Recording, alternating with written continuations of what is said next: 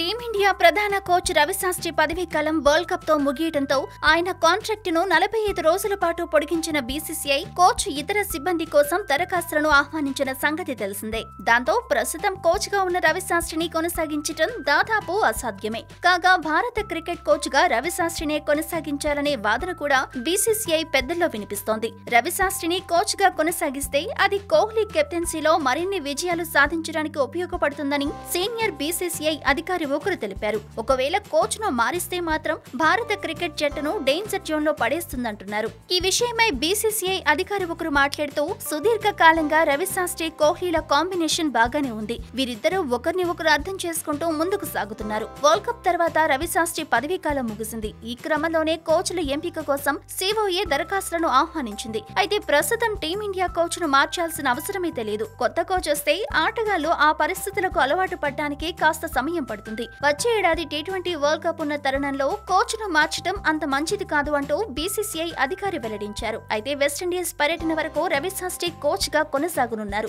World cup తర్వాత రవిశాస్త్రితో పాటు మిగతా సభ్యుల పదవీ కాలం ముగిసిన విండీస్ పర్యటన నేపథ్యంలో వారి నియామకాన్ని మరో నలభై ఐదు రోజులు పొడిగించడం జరిగింది.